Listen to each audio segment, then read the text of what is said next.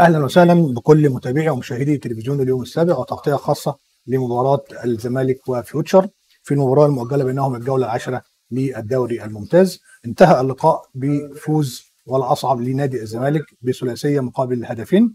تقدم نادي فيوتشر في الشوط الأول بهدفين مقابل لا شيء عن طريق أحمد عاطف يمكن في الدقيقة الثالثة ثم أضاف زميله أحمد رفعت هدف ثاني في الدقيقة العاشرة وتقدم أو احرز الهدف الأول لنادي الزمالك عن طريق المتألق أحمد سيد زيزو من ضربه جزاء في الدقيقة 16 وأضاف نفس اللاعب في الدقيقة الأولى من الشوط الثاني الهدف التعادل لنادي الزمالك أيضا من ضربة جزاء واستطاع أشرف بن شرقي من إدراك الهدف الثالث للفريق الأبيض يمكن في الدقيقة 95 من المباراة. مباراة كانت ولا أصعب ارتفع رصيد الزمالك إلى النقطة 22 ليتقدم للمركز الثالث بجدول الترتيب ويمكن ليه مباراة مؤجلة بينما استمر أو تجمد رصيد فيوتشر عند 15 نقطة في المركز السادس. جاءت المباراة قوية من جانب الفريقين يمكن جاءت يعني الشوط الأول فيوتشر امتلك زمام الأمور واستطاع إحراز هدفين وكان قريبا من إحراز الهدف الثالث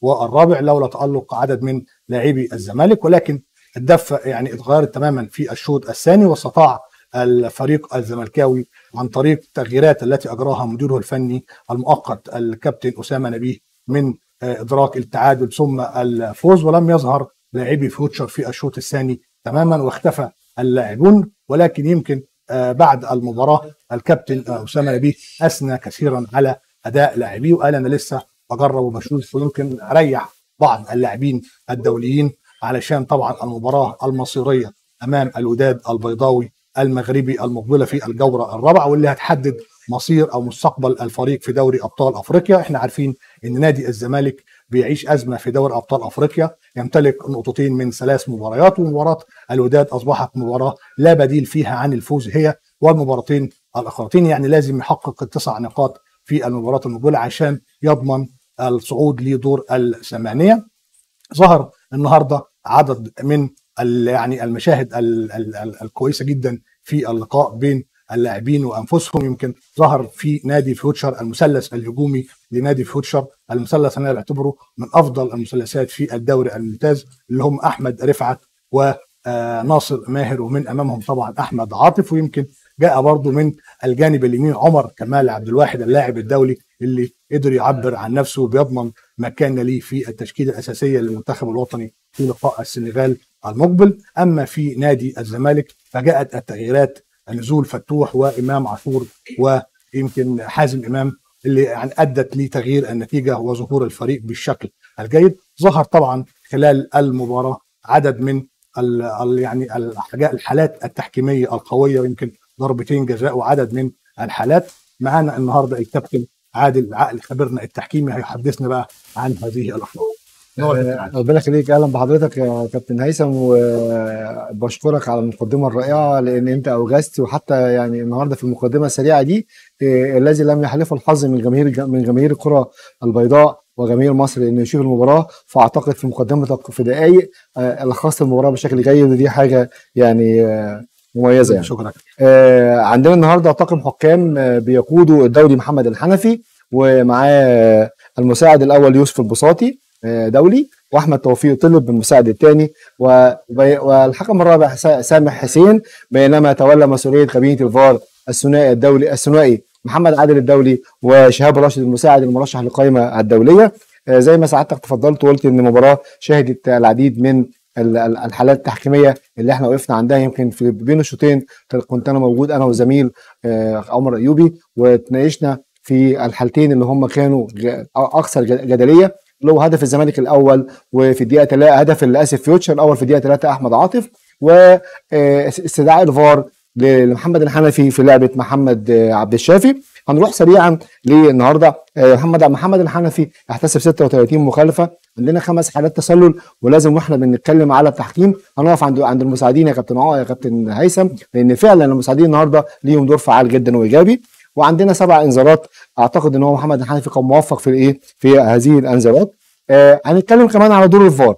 هناخد الحالات سريعا. الهدف الأول بتاع الزمالك إحنا رجعناه.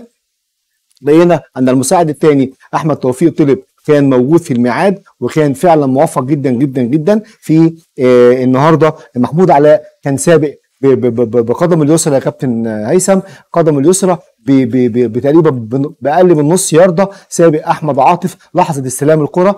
ودائما وابدا التسلل هو لحظة استلام الكرة. لحظة استلام اللاعب الكرة من الزميل. فبالتالي اشار أشار باستمرار اللعب وتدخل تدخلت كابينة الفار وتمكن ال operator مع محمد مع محمد عادل وشهاب راشد من آه، رسم خيوط البيرو اللي أكدت صحة القرار وصحة الهدف الأول لنادي الزمالك.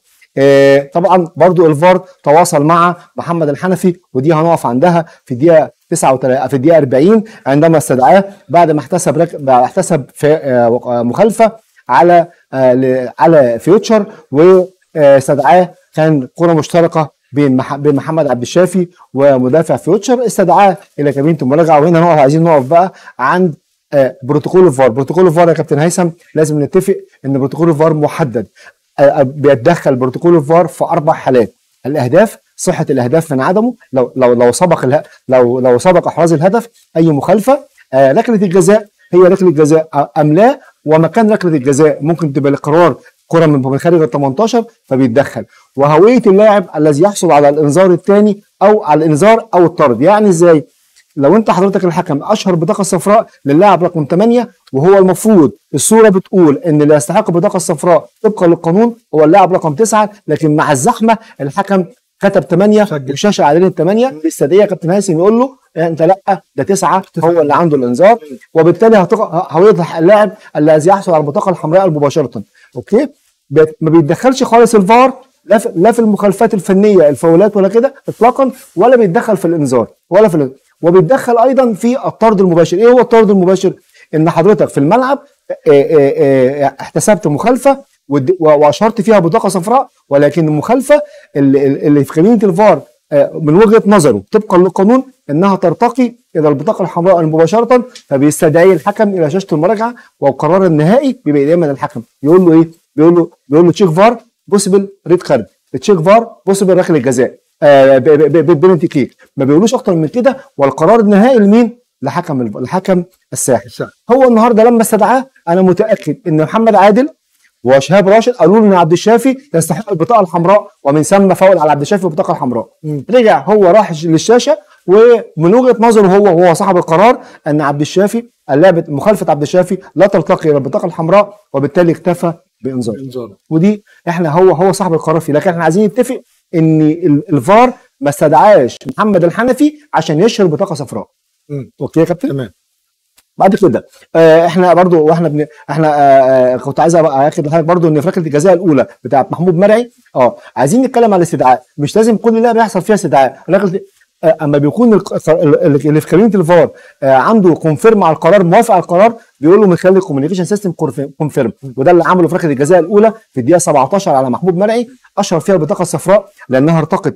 اللعبة ارتقت اللعبة تحولت يا كابتن هيثم من فرصة محققة إلى منع هجوم واعد وبالتالي أشهر هو بطاقة صفراء لمحمود مرعي واحتسب ركلة جزاء صحيحة لنادي الزمالك والفار أكد القرار من خلال ال communication system هنروح في الدقيقة في الدقيقة الأولى من الشوط الثاني الثاني، آه. تاني في ركله جزاء على عرض بدر في آه، لمسة لمسة يد داخل منطقة الجزاء. توفرت فيها يا كابتن هيثم إحنا دايما وابدا ما فيش حاجة اسمها وجهة نظرنا فيها قانون. أيوة. توفرت فيها كل معايير احتساب ركلة الجزاء. يعني اللعبة دي لو بره ال 18 هتبقى handball وركله حره مباشرة. لو جوه ال 18 هتبقى hand هتبقى ركلة جزاء تمام؟ و... وإنذار. توفرت فيها كل معايير احتساب ركلة الجزاء وبالتالي هو آه، احتسب. كان الحنفي آه، عنده زاوية رؤية مناسبه ما فيش تردد احتسب ركلة الجزاء والفار تدخل برضو من خلال ال communication system واكد القرار. الفار بيتدخل في ركلة الجزاء في وفي تنفيذها يا كابتن هيثم لأن من خلال الكوميونيكيشن لو في حاجة بيرجع بيرجع مع مع الحكم يقول له في التنفيذ في مشكلة. وكده يعني أنا عايز أقول مش كل حاجة لازم يروح لشاشة المراجعة. هنروح للعبة مهمة جدا جدا جدا وهي دي اللي, اللي هي يمكن تكون آه آه، في الدقيقة 70 في الدقيقة 70 في حضرتك آه، المساعد المساعد الثاني يوسف الأول آسف يوسف يوسف البساطي ألغى هدف لأحمد عاطف لاعب فيوتشر تمام؟ نفذ فيه البروتوكول. هو هو لما لما لعبه التمريرة بيعمل بيعمل ال delay البروتوكول بتاع الفار في التسلل بيقول لك اعمل delay وكمل اللعبة ولما تنتهي ادي القرار يا هدف يا تسلل. فعلا هو ساب أحمد عاطف يعمل يستمر اللعب طبقا للبروتوكول وبعد ما أحرز الهدف في مرمى الزمالك أشار بالتسلل والفار أكد القرار ولما تراجعت الكورة من خلال خطوط البيرو اللي اثرها اللي اظهرتها كابينه الفار على الشاشه تأكدنا فعلا إن أحمد عاطف كان سابق يا كابتن هيثم بجزء من الكتف الشمال فبالتالي أي جزء من الجسم تقدر تح- تحرز بيه هدف لما تكون سابق مع آخر تاني مدافع يبقى أنت في تسلل. أوكي آه نروح بقى للعبة الجدلية. دي اولا اولا أنا عايز أقول بس في الوقت الضايع في الشوط الأول والشوط الثاني محمد الحنفي موفق فيهم لأنه عنده ثلاث دقائق في الشوط الأول آه كانوا كانوا موفق في تقديرهم وعنده خمس دقائق في الشوط الثاني في الدقيقة 95 أحرز أحرز أحرز نادي الزمالك هدف الثالث ل هدف الثالث ل آه للزمالك ال- ال- الابيض. بن شرقي أحرزه تمام؟ واللعبة بعد ما عدناها كان في في اللحظة اللي لعب فيها اللي لعب فيها عبد الغني الكرة واخد بالك؟ كان كان جوزيف الكاميروني لاعب فيوتشر وهو مغطي ولما حصل إعادة ل- من خلال كابينه الفار ومن خلال ال- ال- آه، الخطوط البيرو آه، أكدت كابينه الفار أن جوزيف كان برضو الجزء الشمال كله نص الشمال كله بتاع جوزيف اللاعب الكاميروني لاعب لا الكاميروني لاعب فيوتشر كان مغطي ولما جه ولما راح كمل ع- آه، سيسي كان سيسي جاي آه، بعد اللعبه ما اتلعبت فجاي جاي جاي من مكان سليم مش تسلل وبالتالي هو هدف سليم طبقا للقانون. أنا عايز أقول النهارده كابينة الفار والاثنين المساعدين يا كابتن هيثم هم كلمة السر في نجاح المباراة تحكيميا لأن الاثنين المساعدين عندهم خمس حالات تسلل عندهم جنين كان فيهم مشاكل كان فيهم مشاكل لكن هم سمحوا باستمرار اللعب لغوا هدف سليم والفار أكد. كان في تناغم النهارده بين كابينة الفار وبين الاثنين المساعدين خاصة في القرارات ال- ال- المصيريه أخيرا محمد الحنفي كان موفق في إشهار البطاقة الصفراء لمحمد عبد الشافي ومحمد أشرف رؤى وأحمد أبو الفتوح من الزمالك وعربي بدر ومحمود مرعي وناصر ماهر وعمر كمال من من أنا شايف النهارده أن التحكيم لم يتسبب لم لم يكن هناك قرار قرار أثر في نتيجة المباراة خلال خلال ال 97 ال 98 دقيقة عمر اللقاء في في عمر اللقاء النهارده يا كابتن هيثم. آه، لو حبينا يا كابتن ندي طاقم التحكيم النهارده درجة ندي الحكم الساحه كام والمساعدين كام وحكم الفار كام؟ أنا هدي أنا هدي أنا هدي النهارده الاثنين الحكم الحنفي 8 من 10 آه. ويوسف يوسف البساطي البساطي والاثنين مساعدين 8 ونص آه. والحكم الرابع 8 من 10 أيوة. كابينة الفار 8 ونص زي المساعدين لأن كابينة الفار كانت موجودة في الميعاد طبقا للبروتوكول ونفذت البروتوكول بالظبط بالظبط كما كما يعني آه، طبقا للقانون. ما كانش فيه زي ما حضرتك أنا تفضلت وقلت إن دائما وابدا لما الإنسان بيحاول يجاوب من من عنده هو تمام؟ ما بيوصلش نتيجه نتيجة مرضية. آه يعني انت أنت شايف النهارده إن ال- ال- الحكم الفار كان موفق جدا. عكس المباراه اللي فاتت. يعني عكس امبارح كان في آه مع, في- آه. مع أحمد الغندور. هو في الفار تمام. لا النهارده النهارده الحنفي أفضل من معروف امبارح. آه. النهارده ال- الحالات الجدلية كلها النهارده كانت آه، آه، اللي هي المؤثرة كانت كانت قر- قرارات الحكم آه، الفار فيها وتدخله كان كان آه، سليم. والمساعدين كمان يا كابتن هيثم لما اما الفار يؤكد على على ثلاث أربع قرارات مؤثرة للمساعدين معنى كده إن هم هناك في يقظة في تمركز جيد تركيز في تركيز وفي يقظة وفي تمركز جيد وبالتالي هو ده اللي إحنا عايزينه لأن المفروض وجود الفار ده يقلل من أخطاء التحكيم. طيب سؤال بقى شائع في الشارع المصري اتفضل. بعيد عن المباراه يا كابتن علي. آه إمتى نقول إن ال- ال- ال- الخطأ التحكيمي ده مش خطأ حكم ساحه لا ده خطأ حكم الفار الحتة دي في لبس في الشارع ما بين. حتة إن الحكم الفار هو الغلطان ولا الحكم الساحة هو اللي غلطان لما ب... لما لما بيكون تدخل حكم الفار آه. لم... لم... إذا تدخل حكم الفار تدخل مخالف للبروتوكول فبيبقى خطأ بيبقى خطأ حكم الفار بيبقى خطأ خطا- حكم الفار لكن أنت حضرتك سألت سؤال في ذكاء. طيب لو الراجل اللي موجود في الملعب الحكم الساحة اللي موجود في الملعب تمام؟ مم. هو بيطبق عنده تطبيق جيد للقانون وبروتوكول الفار مش هيغلط مش هينساق. آه. يعني إيه مش هينساق؟ يعني لما تستدعيني حضرتك لشاشه المراجعة وأنا أجد إن استدعائك ده تمام غير مخا- مخالف للبروتوكول نمرة واحد أو اللي القرار اللي أنت أو أو, أو اللعب اللي أنت هتو... اللي أنت هشوفها على الشاشة في, في المراجعة دي تمام؟ ما ما ما, ما أنا أنا شايفها زي ما أنت زي يعني قراري فيها أفضل من مراجعتك أنت تمام؟ هنا الحكم لما يكون دار لما يكون واعي بي بي بي بي واعي بيطبق القانون بشكل جيد فاهم الح- الحاجة اسمها understanding football game الفهم الجيد لتطبيق القانون والبروتوكول ما أعتقد مش هيبقى هيبقى فعلا قراراته سليمة. وبالتالي هرجع بقى لسؤال حضرتك تاني. كلما قل تدخل الفار أيوة. مع حكم المباراة. كلما كلما تم تقييم الحكم تقييم جيد لأنه كده ما بيعتمدش على الفار تمام؟ لأن هتلاقي حكم مثلا أيوه. مم. هتلاقي حكم خمس قرارات أو ست قرارات في في المباراة المصريه الفار بيأكد قراره. معنى كده إن هو خد القرارات من غير ما يرجع يا كابتن هيثم للفار. لكن إحنا عندنا في التحكيم هقول لك حاجة كارثة أتمنى إن إحنا نتخلص منها. البعض البعض. بعض. تمام؟ من الحكام. يقول لك إيه؟ أنا أحسب والفار يرجعني أيوة. وما عندوش يقين تمام؟ آه. أحسب ما أنا ما أحسبش أيوة. والفار ما يرجعني شكله وحش. شكله.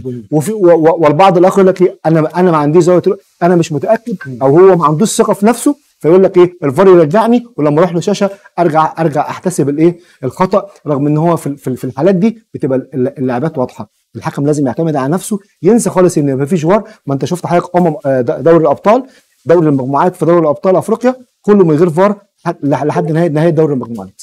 أيوه بالظبط. طب إمتى يا كابتن هنشوف الحك- حكم مصري يروح للفار ويرجع أسرع من دقيقة زي زي الدوري الإنجليزي والدوري الإيطالي إحنا لما لما لما.